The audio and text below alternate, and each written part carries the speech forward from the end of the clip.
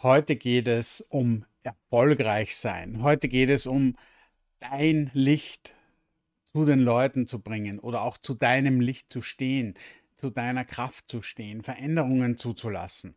Und ich erlebe es ja immer wieder, dass, dass, dass Leute unter ihrem Potenzial einfach dahin dümpeln und die Zeit vergeht und ein Tag folgt dem nächsten und man hat wieder nicht das Gefühl, wirklich etwas weitergebracht zu haben oder aktiv geworden zu sein oder hat ein ungutes Gefühl, wenn man sich zurückhält. Und heute schauen wir uns das mal an. Und wir werden heute ganz bewusst einmal unseren inneren Mann anschauen und Vaterthemen lösen, die aktive Seite einmal angehen. Das ist ja auch unsere Pionierseite, die Seite in dir, die dir erlaubt, neue Projekte anzugehen beziehungsweise auch dich selber im Positiven durchzusetzen. Und da haben wir natürlich den, den Vater als unser männliches Bild, als unser männliches Vorbild äh, drinnen. Und da kannst du gleich einmal so ein bisschen in dich gehen, ein bisschen so die Gedanken schweifen lassen. Denk mal so an deinen Vater. Einfach mal ganz entspannt. Du kannst die Augen schon schließen, wenn du möchtest. Und stell dir einfach mal so deinen Vater vor. Überleg mal. Egal, ob der jetzt noch lebt oder, oder, oder schon verstorben ist. Denke einfach mal dran, was hat denn dein Vater dir vermittelt? War der recht liebevoll? War der sehr streng? War der vielleicht nicht wirklich greifbar für dich? War der eher ein gestresster Typ? oder selber eher ein passiver Typ, ein zurückgezogener Typ? Hast du das Gefühl, dass dein Vater zufrieden gewesen ist oder zufrieden ist? Hat er dir Zufriedenheit vermittelt? War das ein Vater, der sehr kritisch mit dir umgegangen ist also der sehr viel bemängelt, bekrittelt hat bei dir, oder einer, der dir, der dir, der dich motivieren konnte, der gesagt hat, okay, du schaffst das, mach das mal, probier das mal aus. Also wie war denn das Gefühl oder wie ist denn das Gefühl deinem Vater gegenüber? Hast du das Gefühl, dein Vater hat dich verstanden? Wurdest du verstanden von deinem Vater?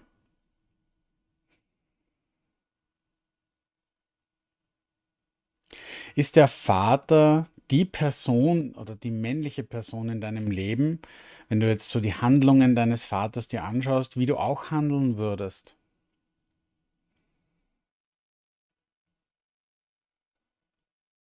Oder hast du das Gefühl, du würdest Dinge anders machen?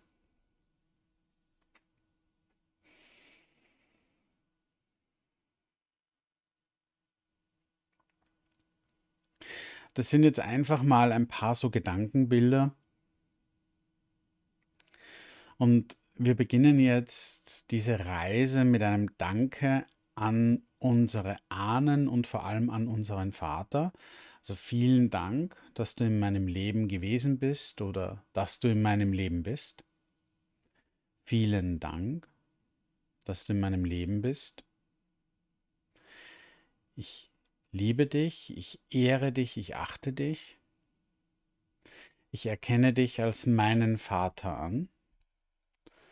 Du bist der Große und ich bin die oder der Kleine.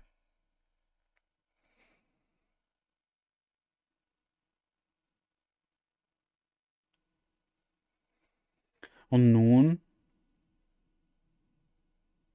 Falls du deine Augen noch nicht geschlossen hast, dann schließe sie jetzt und atme mal tief ein. Und wieder aus. Und tief ein. Und wieder aus.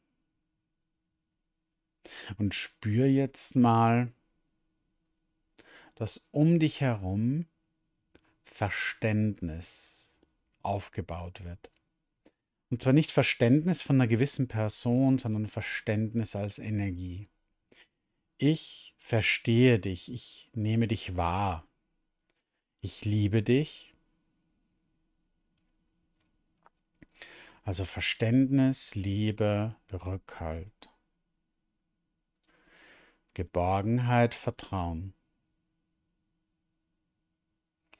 Verständnis, Liebe, Rückhalt, Geborgenheit und Vertrauen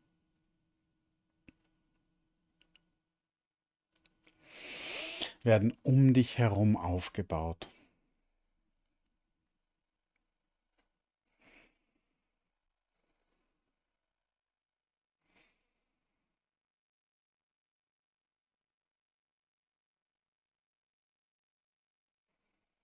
Und erlaube jetzt einfach mal diese, diese Frequenzen zuzulassen.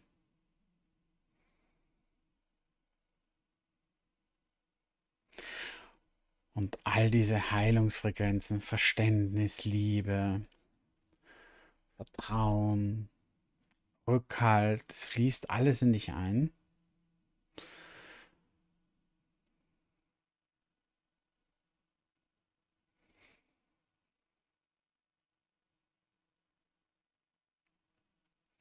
Und wir werden jetzt mal eine ganz große Fehleinschätzung lösen. Die Fehleinschätzung, ich bin alleine. Die Fehleinschätzung, du bist alleine. Die Fehleinschätzung, du musst Dinge selbst für dich machen oder entscheiden. Die Fehleinschätzung, du stehst alleine da. Und wenn du dich präsentierst, bist du das alleine. Also dieses Thema, ich bin alleine, ich bin zurückgelassen, ich bin verlassen. Ich bin klein, ich bin hilflos. Diese Fehleinschätzungen dürfen nun mal transformiert werden. Ich bin alleine, ich bin alleingelassen, ich bin im Stich gelassen. Und diese Fehleinschätzungen dürfen jetzt mal transformiert werden.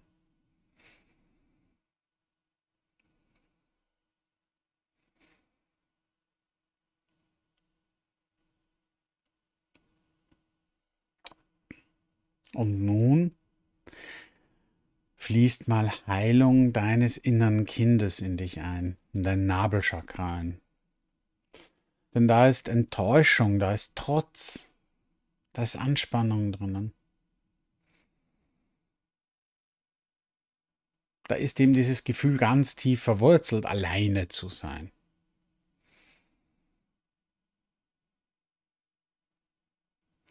Aber spür mal, dass du nie alleine bist und dass es auch nicht darum geht, dass du dich ex exponierst, dass du, dass du jetzt etwas, dir eine Blöße gibst, sondern es geht darum, dass du dein Licht lebst.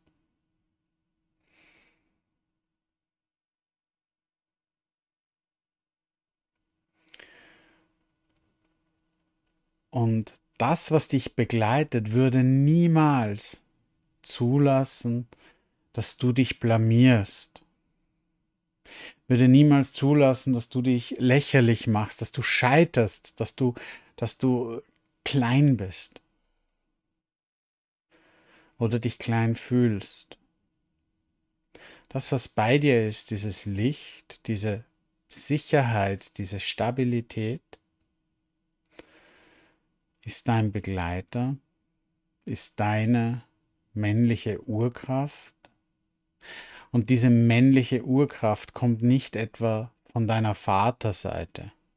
Das ist der kleine Vater, der weltliche Vater. Diese Durchsetzungskraft kommt aus dem Göttlichen, aus deinem Innersten. Und diese Durchsetzungskraft erlaube nun einmal, dass sie sich ausbreitet. Und zwar ausbreitet über die Verletzungen, die Unsicherheiten, die Themen deines inneren Kindes hinaus. Du bist mehr als die Erfahrungen deiner Kindheit. Sprich das mal nach, ich bin mehr als die Erfahrungen meiner Kindheit, ich bin mehr als die Emotionen meiner Kindheit. Ich bin mehr als die Prägungen meines Vaters. Ich bin mehr als das, was mein Vater in mir gesehen hat. Und erlaube dir nun mal diese Energie in dir zu aktivieren, deine Durchsetzungskraft.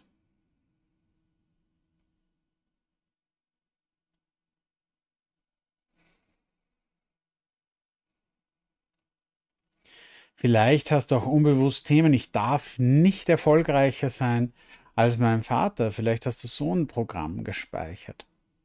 Weil der ja der Größte ist, dann kannst du nie größer werden.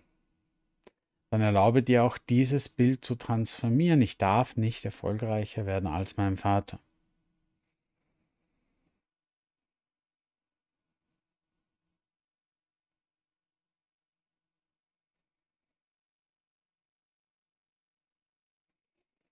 Und nun spüre bitte, wie Kraft sich in dir aufbaut, wie Energie in dir aktiviert wird, wie diese männliche Kraft immer mehr wird, diese aktive Seite.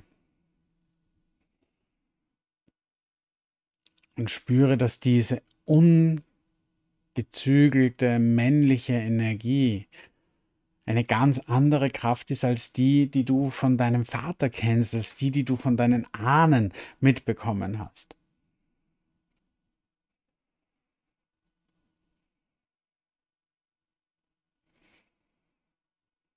Ich lasse mich nicht mehr auf faule Kompromisse ein. Ich lasse auch nicht mehr zu, mein Licht unter den Scheffel zu stellen. Ich gehe über meine Unsicherheit, durch mein Unwissen hindurch, durch meine anfängliche Angst hindurch und ich gehe weiter und ich erlaube mir, mein Licht hier zu leben, zu 100 Prozent zu entfalten.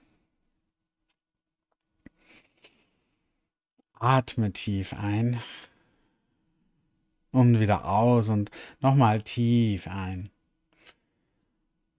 und wieder aus. Und spür jetzt mal, während du Schritt für Schritt nach vorne gehst, während du deine Energie ins Laufen gebracht hast, dass hinter dir wohlwollend, in Liebe deine männlichen Ahnen stehen dich beglückwünschen, dass du diesen Sprung gewagt hast. Diesen Sprung raus aus der Illusion, raus aus diesen alten Mustern, raus aus allen Glaubenssystemen in dein innerstes Licht, in deine Kraft, in deine Durchsetzung, in deine Freiheit rein.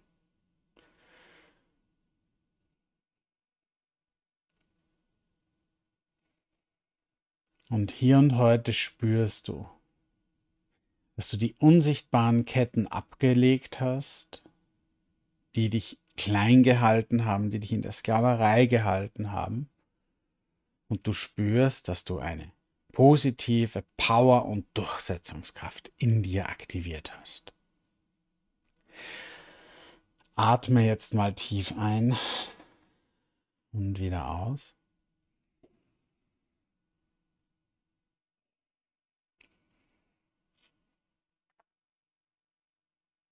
Und spür mal diese Kraft, diese Energie.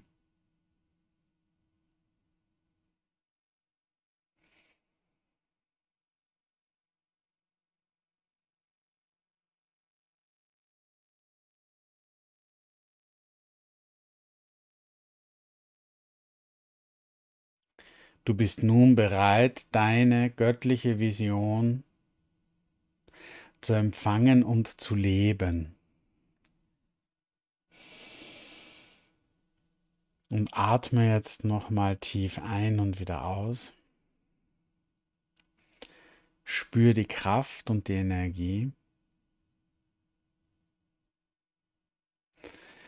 Und bedank dich bei deinen geistigen Helfern, Führern, bedank dich bei deinem inneren Licht.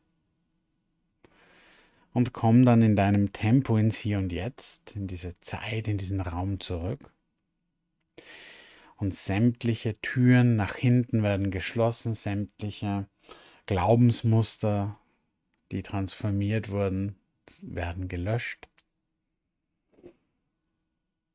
Und du spürst, dass du zu 100% in deiner männlichen, aktiven Energie stehst. Und du nimmst dir diese Kraft ins Hier und Jetzt zurück.